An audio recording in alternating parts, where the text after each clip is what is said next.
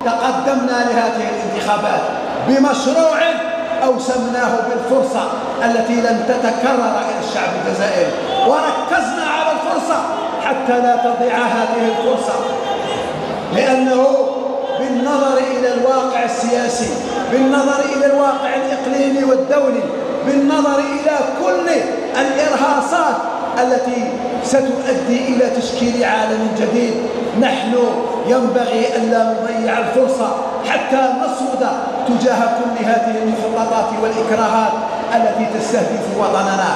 إخواني أخواتي لقد تحدثت في كل الولايات على موضوع التنمية وعلى موضوع المشاريع وعلى موضوع الاحتياجات.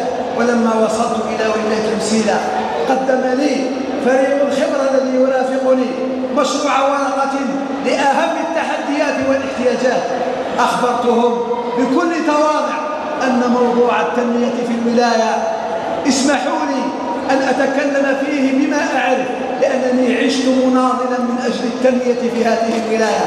عشت منتخبا عشت مساهما في كثرة وفي العديد من المشاريع.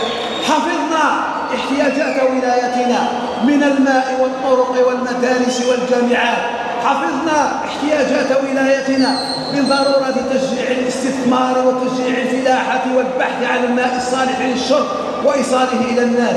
حفظنا مشاكل بلدياتنا في جنوب ولايتنا وفي شرق ولايتنا. حفظنا احتياجات مواطنينا. عرفنا ما يعانيه سكاننا من فجوات تنموية جعلت هذه الولاية التي تضم العديد من المقدرات التي تؤهلها إلى أن تكون ولاية قطب وقد أدرجنا في برنامجنا الانتخابي أنه ينبغي الاهتمام بمجموعة من الولايات الصاعدة تنمويا واقتصاديا من أجل أن تكون ولايات الأقطاب.